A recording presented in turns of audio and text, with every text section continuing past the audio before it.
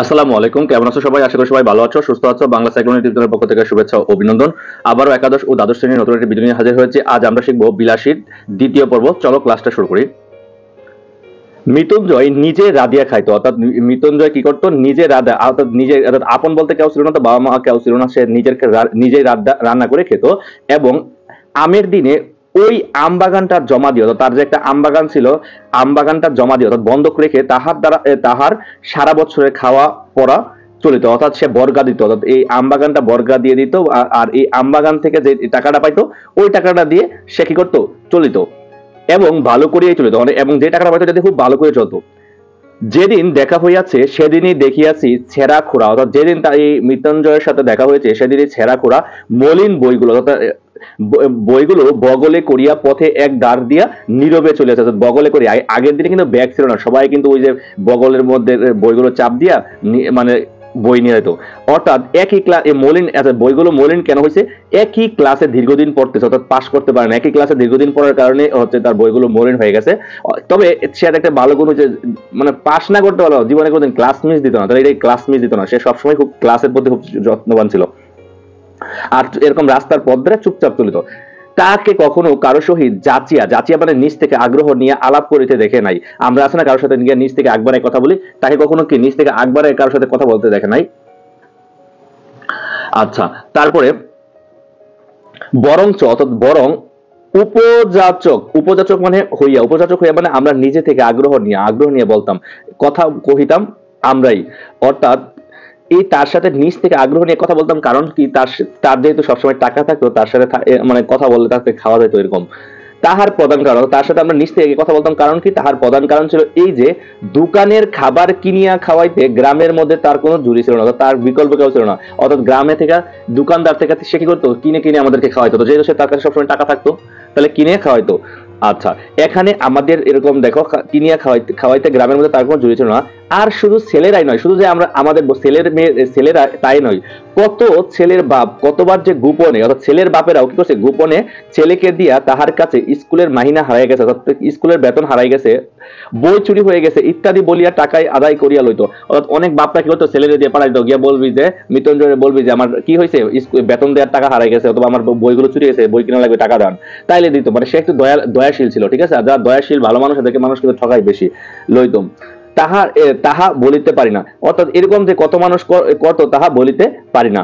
কিন্তু ঋণ স্বীকার, অর্থাৎ কৃতজ্ঞতা স্বীকার করা, ঋণ স্বীকার মানে কৃতজ্ঞতা করা তো দূরের কথা।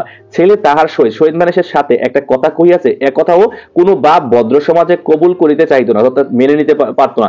অর্থাৎ তার কাছ থেকে হেল্প নিতে পারবে, কিন্তু তার কাছ থেকে হেল্প নিতে পারল, তার সাথে তার কোনো ছেলে গিয়ে মিশছে, কথা বলছে, এই কথা কোনো বাপ মানে মানে মানতে পারে না। গ্রামের মধ্যে মৃত্যুঞ্জয়ের ছিল এমনই সুনাম। এটা ট্রল মজা করে বলতেছে, তাহলে গ্রামের মধ্যে মৃত্যুঞ্জয় ছিল এমনই এই সুনাম মানে হচ্ছে দুর্নাম। অর্থাৎ মৃত্যুঞ্জয় দানশীল ছিল বাট গ্রামের সবাই যেহেতু একই ক্লাসে বারবার পড়ে, তার বাবা মা নাই এবং এই জন্য কারোর সাথে, কেউ তার সাথে মিশতো না। আচ্ছা এই এই কয়েকটা লাইন দ্বারা আমরা কি বুঝতেছি? এখানে দেখো আমার এখানে আমাদের দ্বিমুখী আচরণ বোঝাচ্ছে। অর্থাৎ দ্বিমুখী আচরণ ওটা কি? আমরা এই যে হেল্প নিত সবাই কি করতো? তার কাছে হেল্প নিত। কৃতজ্ঞতা স্বীকার করতো না। সবাই তার কাছ থেকে হেল্প নিত বাট কৃতজ্ঞতা স্বীকার করতো না। অনেকদিন মৃত্যুজয়ের দেখা নাই, অর্থাৎ অনেকদিন হয়েছে মৃত্যুজনকে দেখি না। একদিন শোনা গেল সে মর্ম, অর্থাৎ মরে মরে অবস্থায়।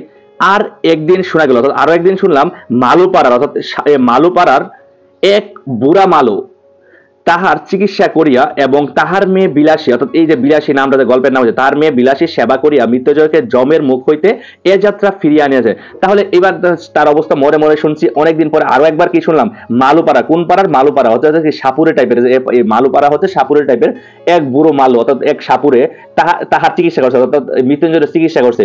আর তার মেয়ে হচ্ছে বিলাসী। বিলাসী এত পরিমাণ সেবা করছে যে মৃত্যুজয়কে জমের মুখ থেকে, জমের মুখ থেকে মৃত্যুর দেবতার কাছ থেকে, অর্থাৎ অতিরিক্ত সেবার মাধ্যমে জমের মুখ থেকে কি করছে? এ যাত্রায় ফিরিয়া আনিয়াছে। অনেকদিন তাহার মিষ্টান্নের সদ্বাই করিয়াছি। অর্থাৎ বলতেছে, অনেকদিন তার কাছ থেকে, মৃত্যুঞ্জয়ের কাছ থেকে কি বিভিন্ন জিনিস খাইছি? মিষ্টি জিনিস হোক, বিভিন্ন জিনিস হোক তার কাছ থেকে খাইছি। মনটা কেমন করিতে লাগল? তার মনটা খুব খারাপ লাগতেছে তার জন্য, দেখার জন্য।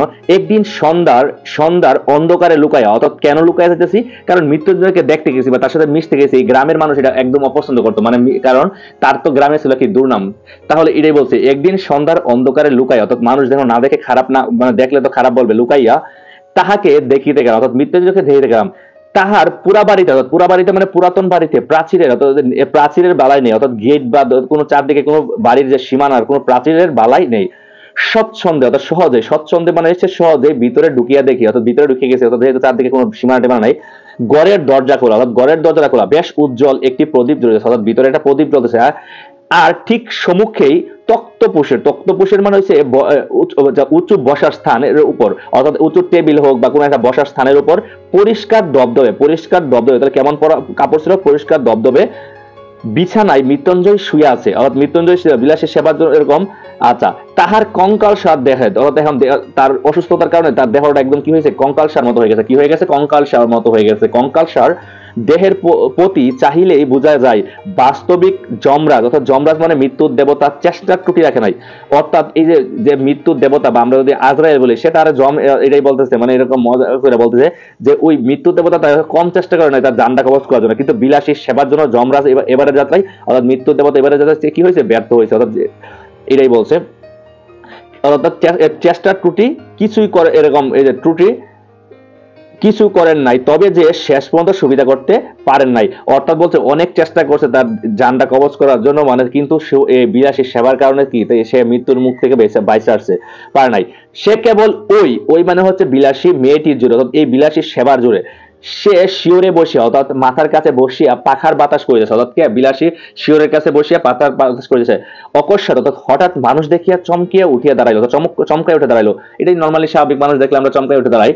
আচ্ছা এই সেই বুড়া, সাপুরের মেয়ে বিলাসী, এই হচ্ছে, এই এই হচ্ছে বুড়া, ওই সাপুরের মেয়েটার এই যে বিলাসী, সেই হচ্ছে বিলাসী, যে বাতাস করেছিল।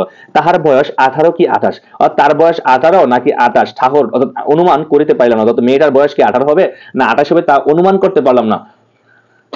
কিন্তু মুখের প্রতি চাহিবা চাহিবা মাত্রই টের পাইলাম, অর্থাৎ তার যখন এই মেয়েটার মুখের দিকে তাকালাম তখন টের পেলাম, বয়স যাই হোক, অর্থাৎ বয়স আঠারো, আঠাশ যাই হোক, খাটিয়া হাটিয়া আর রাত জাগিয়া জাগিয়া ইহার শরীর আর কিছু নাই। অর্থাৎ মেয়েটা এর মৃত্যুঞ্জয়কে বাঁচানোর জন্য সেবা করতে করতে রাত জাগতে জাগতে শরীরটা ভেঙে গেছে। শরীরটা আর ভালো, আগের মতো সুন্দর নাই। ঠিক যেন ফুলদানিতে জল দিয়া বিজয়ে রাখা বাসি ফুলের মতো। সুবাসী বিলাসী সম্পর্কে কি করছে? এখানে লেখক এই উক্তিটা করছে। যেমন ফুলদানিতে আমরা কি করি? ফুলে, ফুলদানিতে কি করি? আমরা পানি দিয়ে কি একটা ফুল বিজয়ে রাখি না? তারপরে কিন্তু বাসি ফুলটাও কিন্তু তরতাজা তরতাজা ভাবতে হয় কিন্তু গাছে থাকার মতো কি আর তরতাজা থাকে? ঠিক বিলাসীও আগে যে তত্ত্বটা ছিল বা যে একটা স্বাস্থ্যটা সুন্দর ছিল, কিন্তু এই মৃত্যুঞ্জয়কে সেবা করতে করতে ওই যে ফুলদানিতে বিজয় রাখা ফুলের মতো অনেকটা হয়ে গেছে। অর্থাৎ পিওর ফুলের মতো আর আগের মতো শক্তিশালী নাই। অর্থাৎ বিলাসী শঙ্কর লেখক কথাটা বলছে। অর্থাৎ বিলাসী হচ্ছে আজ এক বিলাসী হচ্ছে তাজা একটা ফুল ছিল, কিন্তু মৃত্যুঞ্জয়ের পিছনে খাটতে খাটতে অর্থাৎ সেবা করতে করতে সে এখন একেবারে শুকায় গেছে। হাত দিয়া এতটুকু স্পর্শ করিলে, অর্থাৎ একটু স্পর্শ করিলে, এতটুকু নাড়াচাড়া করিতে গেলে জড়িয়া পরিবার অর্থাৎ এই যে যখন একটা ফুল যদি আমরা ফুল দাঁড়িয়ে রাখে কিছুদিন পর আস্তে আস্তে শুকায় যায়, তখন হাত দিয়ে একটু স্পর্শ করলে কি হয়? এই নাড়াচাড়া করলে জোরে পড়ে না পাপড়িগুলো? কারণ এরকম ঠিক বিলাসীও মনে হয় একদম হ্যাংলা পাতলা হয়ে গেছে অবস্থা সেবা করতে মৃত্যুঞ্জয় আমাকে মৃত্যুঞ্জয় আমাকে চিনিতে পারিয়া বলিল, অর্থাৎ মৃত্যুঞ্জয় কি করছে? জয়, আমাকে চিনিয়া পারে বলো। কে? নেরা? এই এই নেরাকে, এই হচ্ছে, এই নেরা হচ্ছে লেখক, অর্থাৎ শরৎচন্দ্র চট্টোপাধ্যায়। অর্থাৎ কে? নেরা? বললাম, হু। তাহলে এই মেলাটা হচ্ছে শরৎচন্দ্রের নাম, অর্থাৎ লেখক নিজে। মেয়েটা গার হেড করিয়া দাঁড়াইয়া রহিল, অর্থাৎ মানে মেয়েটা গার হেড করিয়া মানে নিচু করি অর্থাৎ নিচু করে দাঁড়াইল, অর্থাৎ এই মৃত্যুঞ্জয়কে নেড়া দেখতে আসে তো, এই জন্য সে তার দিকে সরাসরি তাকাচ্ছে না, একটু মাথা নিচু করে দাঁড়াইয়া রহিল। মৃত্যুঞ্জয় দুই চারটি কথাই যাহা কইল অর্থাৎ মৃত্যুঞ্জয় কয়টা কথা বলতে দু চারটি কথা। যেহেতু অসুস্থ বেশি কথা বলে না, দু চারটি যা কথা কথা কইল তার মর্ম অর্থাৎ তার সারমর্ম হচ্ছে এই যে, প্রায় দেড় মাস কয় মাস? দেড় মাস, মনে রাখব, দেড় মাস হইতে চলিল সে শয্যাগত অর্থাৎ সে দেড় মাস হয়ে গেছে, এখন বিছানায় পড়ে রয়েছে। অর্থাৎ সে উঠতে পারে না, কাজ করতে পারে না কিছু করতে পারে না। মদ দিয়ে, অর্থাৎ মাঝখানে দশ পনেরো দিন সে অজ্ঞান ছিল, অর্থাৎ অজ্ঞান অচেতন্য অবস্থায় পড়িয়াছিল অর্থাৎ দশ পনেরো দিন হয়ে গেছে, সে কি ছিল? জ্ঞান অজ্ঞান অবস্থায় ছিল এবং অচেতন অবস্থায় ছিল। অর্থাৎ কিছু চেতনা ছিল তার। পড়িয়াল এই কয়েকদিন হইল সে লোক চিনিতে পারতো অর্থাৎ মাত্র কয়েকদিন হয়েছে সে মানুষকে চিনতে পারতো এর আগে মানুষকে চিনতেই পারতো না। এবং যদিচ অর্থাৎ যদিও এখনও এখনও সে বিছানা সারিয়া উঠিতে পারে না। যদিও এখনও সে বিছানা সারিয়া উঠতে পারে উঠিতে পারে না। অর্থাৎ মৃত্যুর তবে আর ভয় নেই, অর্থাৎ এখন আর মৃত্যুর ভয় নেই, অর্থাৎ আর এখন কি হচ্ছে, মোটামুটি একেবারে মতো বেঁচে ফিরেছে, অর্থাৎ এবারের মতো বেঁচে ফিরেছে আর আগের মতো রিক্স নাই, অর্থাৎ শরীর যদিও দুর্বল, কিন্তু আর মারা যাবে এরকম অনেকটা রিক্স নাই, ভয় নাই থাকুক, কিন্তু ছেলে মানুষ হইলেও এটা বুঝিলাম, আজ যাহার শয্যা ত্যাগ করিয়া উঠিবার ক্ষমতা হয় নাই যে, এই, যে ব্যক্তি এখন শরীর এতই দুর্বল হোক, যে সহ্যগত হয় নাই, সেই রুগীকে এই বনের মধ্যে একাকি যে মেয়েটি বাঁচাইয়া তুলিবার বার অত দায়িত্ব লইয়াছে, সে কত বড় গুরুবার অত দায়িত্ব। বলতেছে যে মানুষটা কি আজকে একদম হবি দুর্বল, শরীরটা মানে যে কোনো সময় মারা যেতে পারতো। ওই একটা বনের মধ্যে ওই মানুষটারে কি করছে? মানে সেবা করে সুস্থ করার জন্য যে মেয়েরা দায়িত্ব নিছে, তাহলে এটা কত বড় গুরুবার অত কত বড় দায়িত্ব? দিনের পর দিন, রাতের পর রাত্রি তাহার কত সেবা, কত শুশ্রূষা। শুশ্রূষা মানে চিকিৎসা। এই বারটা কিন্তু তোমাদের এডমিশন টেস্টে বা চাকরি পরীক্ষায় আছে শুশ্রূষা অর্থাৎ চিকিৎসা। আচ্ছা তারপরে কত ধৈর্য ধৈর্য, কত ধৈর্য, কত রাত জাগা? তাহলে মানে কত চিকিৎসা করছে, কত ধৈর্য মেয়েটার, কত রাত জাগছে? সে কত বড় সাহসের কাজ। আচ্ছা কত বড়, এত বড় সাহসের কাজ কেন? একটা বনের মধ্যে একটা মানুষের সেবা যত্ন করছে। যদি ওই মানুষটা মারা যাইতো, তাহলে ওই রাতটা মেয়েটা তো বনের মধ্যে একা কাটটা কাটাইতো একটা লাশ, মৃত লাশ নেই তাই না? এই জন্যই বলছে। কত বড় কত বড় সাহসের কাজ। কিন্তু যে বস্তুটি এই অসাধ্য সাধন করেছে, যে বিলাসী, অর্থাৎ এই যে বস্তুটি, কোন বস্তুটি? যেটা হচ্ছে বিলাসীর ভালোবাসা। এই ভালোবাসায় কি? এই অসাধ্যকে সাধন করেছে। অর্থাৎ যে বস্তুটি বলতে, এই বস্তুটি হচ্ছে বিলাসীর ভালোবাসা। অসাধ্য সাধন করিয়া তুলিয়াছিল, তাহার পরিচয় যদি যদিও সেদিন পাই না যদিও তার ভালোবাসার পরিচয় সেদিন পাই নাই, ফিরিবার সময় কিন্তু আর একদিন অর্থাৎ সেদিন পাই নাই, কিন্তু আর একদিন পাইয়াছিলাম, অর্থাৎ মানে হচ্ছে, অর্থাৎ আরও একদিন পাইয়াছিলাম, অর্থাৎ যেদিন বিলাসী মৃত্যুঞ্জয়ের সুখে মারা যায়, অর্থাৎ যেদিন, অর্থাৎ মৃত্যুঞ্জয়ের সে কতটা ভালোবাসতো এই জিনিসটা এই জিনিসটা বোঝানোর জন্য। ফিরিবার সময় মেয়েটি আর একটি প্রদীপ লয়ে একটা একটা কি প্রদীপ লয়ে প্রদীপ মানে হয়েছে কি? ওই যে মোমবাতির মতো যে আগে যে প্রদীপগুলো জ্বালাইতো, হারিকেন টাইপের, হারিকেন তো হচ্ছে চারদিকে একটা দেওয়াল কাছের ইয়ে ছিল। আর প্রদীপগুলো হচ্ছে মোমবাতি টাইপের, যেটা কেরোসিন দিয়ে চলতো। একটি প্রদীপ লইয়া আমার আগে আগে বাঙ্গা পাচিরের শেষ পর্যন্ত আসিল। তাহলে বিলাসী আগাই দেওয়ার জন্য, এই নেড়াকে আগাই দেওয়ার জন্য কোথায় আসছে? একদম বাঙ্গা পাত্রের শেষ প্রান্ত আসিল। এতক্ষণ পর্যন্ত সে একটি কথাও কহে নাই, অর্থাৎ বলে নাই। এইবার আস্তে আস্তে বলিল, রাস্তা পর্যন্ত তোমায় রেখে আসব কি? অর্থাৎ রাস্তা পর্যন্ত তোমাকে এগিয়ে দিয়ে আসব? অর্থাৎ চিন্তা করো, একটা মেয়ে বলতেছে, তোমাকে রাস্তা পর্যন্ত এগিয়ে দিয়ে আসব কিনা? বড় বড় আম আম গাছের সমস্ত বাগানটা যেন একটা জমাট অন্ধকারের মতো বোধ হইতেছিল। অর্থাৎ এত বড় বড় আম বাগান, ওই বাগানের মধ্যে এই একদম সবকিছু জমাট অন্ধকারের মতো মনে হচ্ছিল। পথ দেখা তো দূরের কথা। নিজের হাতটা পুরো দেখা যায় না, এতই অতিরিক্ত অন্ধকার যে মানে আওয়াসা রাতের মতো, অর্থাৎ হাতটা, নিজের হাতটা পুরো দেখা যায় না। বলিলাম, পৌঁছে দিবে না মানে পৌঁছে দিতে হবে না, শুধু আলুটা দাও। এই যে তাহলে এই কথাটা বলছে কে? শরৎচন্দ্র বা নেরা অর্থাৎ পৌঁছে দিতে হবে না আমাকে, শুধু তুমি আলুটা দাও। সে প্রদীপটা আমার হাতে দিতেই তাহার উৎকণ্ঠিত মুখের চেহারা আমার চোখে পড়ল। অর্থাৎ সে প্রদীপটা যখন আমার হাতে দিছে, তখন ওই যে, এই প্রদীপের যে আলো, আলোর কারণে তার এই তার উৎকণ্ঠিত চেহারা চিন্তিত চেহারাটা আমার চোখের সামনে পড়িল। কেন এই উৎকণ্ঠিত মৃত্যুঞ্জয়কে দেখতে আসিল, সেই অর্থাৎ বলতেছে কেন উৎকণ্ঠা তার মুখের মধ্যে? কারণ মৃত্যুজনকে সে দেখতে আসলো, সেই লোকটা অন্ধকারে ঠিকঠাক বাড়ি যেতে পারবে কিনা এই জন্য এরা চিন্তা, অর্থাৎ আমাকে কেউ দেখতে আসছে বা আমার আত্মীয় স্বজনকে কেউ দেখতে আসে, ওই লোকটা আবার ঠিকঠাক ভাবে ফেরত যেতে পারবে কিনা, কোনো রাস্তায় সমস্যা হবে কিনা, বিশেষ করে সাপের বইয়ের জন্য সে এত চিন্তা করতেছিল, এই জন্য বলছে আগাই দিয়ে আসব কিনা। বলিল, একলা যেতে ভয় করবে না তো? অর্থাৎ বিলাসী বলতেছে, একলা যেতে ভয় করবে না তো? একটু এগিয়ে দিয়ে আসব? তোমাকে একটু এগিয়ে দিয়ে আসব? বিলাসী বিলাসীর কথা, একটি মেয়ে হয়ে যদি বলে যে তোমার ছেলে একটা ছেলের আগায় দিয়ে আসবে, তুমি আবার ভয় করবে না তো? তাহলে কেমন লাগবে? মেয়ে মানুষ জিজ্ঞেস করে, ভয় করবে না তো? অর্থাৎ একটা মেয়ে মানুষ আমাকে জিজ্ঞেস করে, ভয় করবে না তো? সুতরাং মনে যাই হোক যদিও মনে ভয় ছিল পদুত্তরে অর্থাৎ প্রশ্নের উত্তরে শুধু একটা না বলিয়াই অগ্রসর হয়ে বললাম, না না আগাই দিতে হবে না। অর্থাৎ একটা মেয়েকে, মেয়ে মানুষ আমাকে আগাই দিবে, এটা ইগোতে বিষয়। তাহলে ইগোতে আঘাত লেগেছে, তাই বলছে, মেয়ে মানুষ বলে ভয় করবে না তো? মানে কেমন কথা, তার মানে তার ভয় থাকলে এখন আর ভয়টা চলে গেছে। সে পুনরায় কইল, সে বিলাসী পুনরায় বলিল, গণ জঙ্গলের পথ অর্থাৎ গণ জঙ্গলের পথ, অর্থাৎ অনেক জঙ্গল, একটু দেখে পা ফেলা ফেলা যে অর্থাৎ দেখে পা ফেলে যে সাপ থাকতে পারে, কেন? আচ্ছা এই জন্যই কি বিলাসী একটু ভয় পাইতেছিল, যে তাদেরকে দেখতে এসে যদি সাপে কামড় দেয়, তাহলে কত খারাপ বিষয় না? সর্বাঙ্গে কাঠা দিয়ে উঠিল সারা শরীরে কাঠা দিয়ে উঠিল। কিন্তু এতক্ষণে বুঝিলাম, উদ্বেগটা তাহার কিসের জন্য? অর্থাৎ এই বিলাসী মেয়েটা এত টেনশন করতেছে কেন? আমি বাড়ি যাওয়া নিয়ে। অর্থাৎ সাপের কামড়ের বয়েছে এরকম টেনশন করতে এবং কেন সে আলো দেখাইয়া এই বনের পথ পার করিয়া দিতে চাইতেছিল অর্থাৎ এই আলু দিয়ে সে এই বনের পথটা সে পার করিয়া দিতে চাইল আর যারা যেহেতু এই মেয়েটা সাপুরের মেয়ে, তারা তো সাপুর এতটা ভয় পায় না। এই জন্য বদল হয়তো সে নিষেধ শুনিত না। যদি হয়তো আমি যে না করছি, যে আগাই দেওয়া লাগবে না, সে এই নিষেধ শুনতো না। সঙ্গে আমার যাইতো, আগাই দিয়ে আসতো। কিন্তু পীড়িত, অসুস্থ মৃত্যুঞ্জয়কে, অর্থাৎ মৃত্যুঞ্জয়কে একাকি ফেলিয়া যাইতে বোধ বোধ করি তাহার শেষ পর্যন্ত মন শরীর অর্থাৎ মন ছিল না। অর্থাৎ সে আমাকে আগাই দিয়ে আসতো, ভয় আমি না করল। কিন্তু যখন সে মনে চিন্তা করছে যে মৃত্যুঞ্জয় তো একা ঘরের মধ্যে আছে এই এই কথা চিন্তা করে হয়তো কি সে আর যাই আমাকে বেশি আগাই দিল না না, জোর করে আগাই দিয়ে আসতো কুড়ি পঁচিশ বিঘা বাগান, তাহলে কর কত? মৃত্যুঞ্জয়ের বাগান কি? কুড়ি পঁচিশ বিঘার বাগান, কুড়ি পঁচিশ বিঘার বাগান, মনে রাখবা, কুড়ি পঁচিশ বিঘার বাগান। সুতরাং পদটা কম নয়, অনেক বড় পদ এই দারুণ অনেক অন্ধকারের মধ্যে প্রত্যেক পদক্ষেপে বোধ করে প্রতিটা পা পাড়া মাত্রই বোধ করি ভয়ে ভয়ে করিতে লাগল মানে করিতে লাগল ভয় পাইতে লাগল সাপের পা পা আবার কামড় মানে সাপের না পাড়া পাড়া পড়ে, আবার কামড় দেয়। কিন্তু পরক্ষণে মেয়েটির কথাতে সমস্ত মন এমনি আচ্ছন্ন এমনই আচ্ছন্ন হইয়া রহিল যে ভয়ে ভয়ে পাইবার আর সময় পেলাম না। অর্থাৎ যখনই চিন্তা করলাম, একটা মেয়ে হয়ে আমার আগায় দেওয়ার চেষ্টা করতেছে, একটা মেয়ের এত বড় সাহস আর আমি একটা ছেলে হয়ে সাহস পাই নাই, যখন এই কথা চিন্তা করলাম, তখন আমার মনের মধ্যে আর কি নাই, ভয় নাই যে আমি একটা ছেলে হইয়া ভয় পাওয়ার, তাহলে এই জন্যই বলছে ভয় পাওয়ার সময় পাইলাম না। কেবল মনে হইতে লাগিল, একটা মৃত্যু মৃত্যুকল্প রোগী, অর্থাৎ মৃত্যুসজ্জা রোগী লইয়া থাকা কতটা কঠিন? একটা মৃত্যুসজ্জা রোগী লইয়া থাকা কতটা কঠিন মানে কি?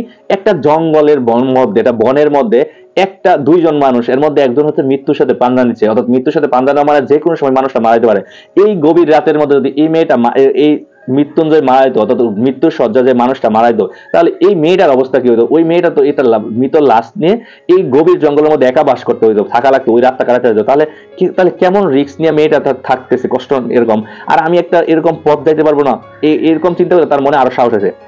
মৃত্যুঞ্জয় তো তো যে কোনো মুহূর্তে মরিতে পারিত। মৃত্যুঞ্জয় যে অবস্থায় ছিল, যে কোনো সময় মারা যেতে পারতো। তখন সমস্ত রাত্রে রাতটা এই বনের মধ্যে মেয়েটি একাকি কি করতো? অর্থাৎ এই বনের মধ্যে মেয়েটা কীভাবে একাকি রাতটা পার করতো? কেমন করিয়া তাহার এই সেই রাতটা কাটাতে একটা লাশের সাথে? আচ্ছা দেখো, শরৎচন্দ্র বিশ পঁচিশ বিঘার বাড়ির পুরাতন কি, পেরোতে ভয় হতেছে লাগল অর্থাৎ বিশ পঁচিশ বিঘা বাড়ি পেরোতে কি হতেছে নেড়ার ভয় ভয় হতে হতো।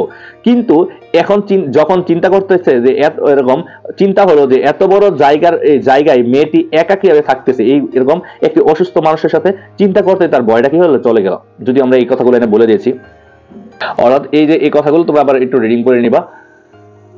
এই প্রসঙ্গে অনেক দিন পর একটা কথা আমার মনে পড়ল। তো এই প্রসঙ্গে এরকম অনেক, এই প্রসঙ্গে একটা অনেক দিন পর আমার একটা কথা মনে পড়ল। তো কথাটা কি একটু পর একটা মজার একটা ঘটনা। এক আত্মীয়র মৃত্যুকালে আমি উপস্থিত ছিলাম, একজন আত্মীয় মারা যেতেছে, এমন সময়, মৃত্যুর সময় আমি কি উপস্থিত ছিলাম? অন্ধকার রাত্রি বাটিতে বাটিতে মানে বাড়িতে ছেলে পুলে অর্থাৎ ছেলে মেয়ে চাকর বাকর নাই অর্থাৎ অন্ধকার রাত্রিতে ওই বাড়িতে কোনো কি নাই বাড়িতে কোনো ছেলে মেয়ে নাই চাকর বাকর নাই। ঘরের মধ্যে শুধু তার সদ্য বিধবা সদ্য বিধবা মানে, মানে কি মাত্র বিধবা হয়েছে বিধবা হয়েছে তার মাত্র স্বামী মারা গেছে। ওই স্ত্রী আর আমি। তাহলে বলতেছে এই নেরা অর্থাৎ এই শরৎচন্দ্র বলতেছে আমি একটা একটা রাত্রি একটা বাসায় কাটাইছিলাম একটা মৃত্যু সজ্জা যাত্রী মানে লোকের সাথে অর্থাৎ মৃত্যু সজ্জা যে পান ওই রাতে ওই লোকটা মারা গেছে মারা গেছিল ওই বাড়িতে শুধু ছিলাম কি তার সদ্য বিবাহিত স্ত্রী আর ছিলাম আমি। তাহার স্ত্রী তো সুখের সুখের আবেগে দাপাদাপি করিয়া এমন কাণ্ড করিয়া তুলিলেন যে তার স্ত্রী কষ্টে, সুখে কষ্টে বিলাপ করতে করছে যে, আমার স্বামী মারা গেছে, স্বাভাবিক, এটা বিলাপ করবে, এটাই স্বাভাবিক। এমন বিলাপ করা শুরু করছে যে করে তুলিলেন যে বয় হইল তাহারও প্রাণটা অর্থাৎ মৃত বুঝি বাহির হইয়া যাই না, যাইবা। অর্থাৎ বলতেছে, ইনি এত বিলাপ করা শুরু করছে যে আমার মনে হইতেছে যে, আবার না এই তার স্ত্রীও মৃত্যু মৃত্যু হয়ে অর্থাৎ স্বামীর সাথে সাথে তার স্ত্রীও কি মারা যায়। কাঁদিয়া কাঁদিয়া বারবার আমাকে প্রশ্ন করিতে লাগলেন কাছে কেঁদে কেঁদে বারবার আমাকে প্রশ্ন করিতে লাগলেন। তিনি স্বেচ্ছায় যখন সহমরণে সহমরণে একসাথে মারা যায় স্বেচ্ছায় যদি কেউ নিজের একসাথে মারা যায়, যাইতে যাইতে চাইতেছেন তখন সরকারের কি? অর্থাৎ নিজের গায়ে নিজেই যদি আগুন লাগা, লাগাই আমি, তাহলে সরকারে আমার কেন বাধা দিবে? সরকার কেন আমার ইয়ে করবে? অর্থাৎ এই সরকারের কি? এই কথাটার মানে হচ্ছে এরকম, দেখো আমি নিচে ব্যাখ্যাটা দিয়ে দিলাম। সেই সময়ের সরকার সতীদাহ প্রথা আইন করে বাতিল করেছে। সতীদাহ প্রথাটা ছিল এরকম যে স্বামী যদি মারা যায়, স্ত্রীর আগে যদি স্বামী মারা যায়, তাহলে স্বামীর সাথে স্ত্রীকে জীবন এরকম ওই ওই একই পুরাই আগুন দিয়ে পুরাইতো। অর্থাৎ স্বামী তো স্বামী তো মারা গেছে, তাকে তো আগুনে পুরাইতো, সাথে তার স্ত্রীকে জীবন্ত স্ত্রীকে কি করতো? ওই আগুনে পুরাইতো। এটা এটা। কিন্তু এই সতীদাহ প্রথাটা তখন কি হয়েছে? এটা বাতিল করা হয়েছে। এই এখন স্ত্রীকে আর পুরাবে না। এখন ওই মহিলা বলতেছে, আমি যদি আমার স্বামী মারা গেছে, আমার সাথে, আমি স্বামীর সাথে আমিও মারা যাব, আমার আগুন দিয়ে পুরাই ফেলব এতে সরকার বাধা দেওয়ার কি? যেহেতু সরকার আইন করছে, সতীদাহ প্রথা বাতিল হয়েছে। এখন কেউ, এক কোনো স্বামী মারা গেলে স্ত্রীকে আর কি করতে পারবে না? আগুন দিয়ে পুরাইতে পারবে না। তাহলে এই জন্য বিলাপ করছে, আমি আমি আমার স্বামীর সাথে মারা যাব, আমরা তাহলে সরকারের কি? এর আগে স্বামী মারা গেলেও জীবন্ত স্ত্রীকে স্বামীর সাথে আগুনে পুড়িয়ে মারা হতো। এখানে স্ত্রী আমি স্বেচ্ছায় মরতে চাইলে, অর্থাৎ সরকারের বাধা দিবে কেন? এই কথা এনে বলতেছে। আমি যদি আমার স্বামীর সাথে আমি স্বেচ্ছায় মারা যেতে চাই, তাহলে আমাকে বাধা দিবে কেন? আমি আগুনে পুড়ে মারা যেতে চাই। অর্থাৎ এই কথাটা মনে করতেছে কি, সিরিয়াস হয়ে বলতেছে স্ত্রী, আসলে বিলাপ করে বলতেছে, সিরিয়াস হবে না, একটু পরে এর কারণটা বুঝবে, এই জন্য এটা বলছে, এটা মজার ঘটনা। তার যে তার যে আর তিলার্ধ তিলার্ধ মানে তিল পরিমাণ বাঁচিতে স্বাদ দেবে তার তিল পরিমাণ অর্থাৎ বিন্দু মাত্র বাঁচার কোনো স্বাদ নাই। এ কি? তাহারা বুঝবে না, এ কি সরকার বুঝবে না তার তার স্বামী মারা গেছে এবং তার বিন্দু বলতে আমার বাঁচার কোনো আগ্রহ নাই? যাইতে বলতেছে, যাইতে যাইতেছেন অর্থাৎ এরকম, অর্থাৎ নিজের গায়ে নিজেই আগুন এরকম এটা না বলে। তাহাদের ঘরে কি স্ত্রী নাই? এই সরকারের ঘরে কি স্ত্রী নাই? তারা কি এই কষ্টটা বুঝেন না? তাহারা কি প্রাসান তারা কি পাশান সরকারের মানুষরা যারা দায়িত্বে আছে, মন্ত্রী এমপি এরা কি পাশান আর এই রাত্রে গ্রামের গ্রামের পাঁচজন যদি নদীর তীরে কোনো একটা জঙ্গলের মধ্যে তার সহমরণের জোগাড় করিয়া দেয়, তো পুলিশের লোক জানিবে কি করে? অর্থাৎ বলতেছে, এই গ্রামের মধ্যে পাঁচজন লোক আছে গ্রামবাসী পাঁচজন, অর্থাৎ কয়জনের কথা বলছে? পাঁচজনে নদীর তীরে তার স্বামীর সাথে জঙ্গলে, অর্থাৎ তারও যদি চিতা, চিতার মধ্যে সহমরণ মানে স্বামীর চিতার সাথে তারও পুরাই মাইরা ফেলে মানে তারও মারে সে যদি স্বেচ্ছায় মারতে মারাতে যাচ্ছে, তাহলে পুলিশ কেন এসে বাধা দিবে? এমনই কত কি কিন্তু আমার তো আর বসিয়া বসিয়া তাহার কান্না শুনিতে চলবে না। এরা ন্যাড়া বলতেছে বা শর্ট বলতে আমার তো আর তার কান্না এই বিলাপ শুনলে চলবে না। পাড়ার খবর পাড়ায় খবর দিতে দেওয়া চায় পাড়ার মানুষের জানানোর দরকার। কারণ শেষমেশ জানানোর দরকার। এই কারণে কারণ কি? এমনই এমনই কত কি বলতেছে আবেগে অনেক কিছু বলতেছে। আচ্ছা এরপর হচ্ছে, পাড়ার খবর দেওয়া দরকার হচ্ছে, পাড়ার মানুষের খবর দেওয়া দরকার। কারণ পাড়ার মানুষের খবর না দিলে তো তার পুরানোর ব্যবস্থা বা অন্যান্য যে কাজগুলো আছে, এগুলো তো কে করবে? একা করা যাবে না। অনেক জিনিস জোগাড় করে দেওয়া, অর্থাৎ একটা লাশ পোড়াতে হলে এরকম এরকম, কি করতে হবে? অনেক কিছু জোগাড় করতে পারে কিন্তু আমার বাহিরে যাইবার প্রস্তুত শুনিয়া তিনি প্রকৃতিস্থ হইয়া উঠিলেন। অর্থাৎ যখনই আমি আমি কি করলাম? বাহিরে চলে যাব, চিন্তা করতেছি, তখনই তিনি কি করছে?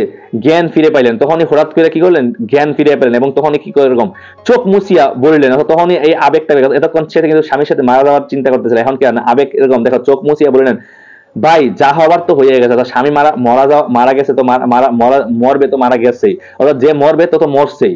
আর বাইরে গিয়ে কি হবে? এখন বাইরে গিয়ে কি হবে? আসলে এই কথাটা কেন বলতেছে জানো? বিষয়টা হচ্ছে এরকম যে এই এখন যদি সে এই রাতের মধ্যে যদি মানুষের খবর দিতে নেরা বা মৃত্যুঞ্জয় যায়, তাহলে সে এই মহিলা এখন মৃত স্বামীর লাশের সাথে থাকা লাগবে। তার ভয় হয়ে একটু আগে কিন্তু মারা যাইতে প্রস্তুত, আর এখন স্বামীর লাশের সাথে থাকতে পারবে না ভয়ে। অর্থাৎ এগুলো এতক্ষণ বলছিল অনেকটা আবেগের মধ্যে। এটা বলছে, বাইরে গিয়ে কি লাভ হবে? এখন যে মারা যাওয়ার তো গেছেই। রাতটাকে কাটুক সে ভয় পাচ্ছে। সে লাশের সাথে থাকতে ভয় পাচ্ছে। বলতে রাতটা কাটুক, সকালে গিয়ে মানুষের জানাইও। এরকম বলিলাম, অনেক কাজ না গেলে যে নয়, অর্থাৎ শেষ কৃত্যের কাজ অনেক, অর্থাৎ এই যে লাশটা যে পুরাবে, অনেক কিছু জোগাড় করতে হবে, এখন এখানে বসে থাকলে চলবে না। তিনি বলিলেন, হোক কাজ, তুমি বসো। ভয়ে বলতে, আরে কাজটা পরে, মিয়া, তুমি এখন বসো। মানে এই মৃত্যুঞ্জয় বলছে নেড়া বলছে, তুমি এখন বসো। মানে সে ভয় পাচ্ছে। অর্থাৎ আগে সে নিজেই কিন্তু মারা যাওয়ার জন্য প্রস্তুতি নিতেছিল। বলিলাম বসলে চলবে না, একবার খবর দিতেই হবে। অর্থাৎ বলতে এখন বসলে চলবে না, মানুষের একবার খবর দিতে হবে। পাড়াপড়শি যে মারা গেছে, বলিয়া পা বাড়াবা মাত্র অর্থাৎ এক পা দেওয়া মাত্রই তিনি চিৎকার করি অর্থাৎ চিৎকার করিয়া বলেন, ওরে বাপরে, আমি একলা থাকতে পারব না। ওরে বাপরে, এনে মনে রাখবা, ওরে মারে বলে না কিন্তু ওরে বাপরে বলছে এরকম, ওরে বাপরে, আমি একলা থাকতে পারব না। অর্থাৎ মনে রাখবা এটা। অর্থাৎ তিনি ভয়ে আর একরকম, একটু আগে কিন্তু স্বামীর সাথে জীবন্ত মারা যাইতে প্রস্তুত, পুরে, পুরা মানে স্বামীর লাশের সাথে সে পূজা মারা যাবে মারা যাবে প্রস্তুত। আর এখনই কি করছে বলতে ও বাপরে, আমি একলা থাকতে পারব না, অর্থাৎ লাশের সাথে থাকতে পারব না।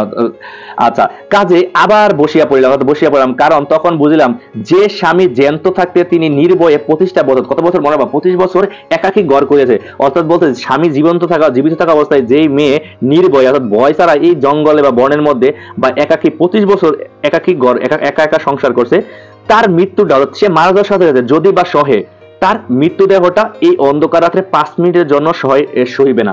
অর্থাৎ বলতে, তার মৃত্যুটা সয়ে গেছে, অর্থাৎ সে মারা গেছে, এটা মেনে নিতে পারছে।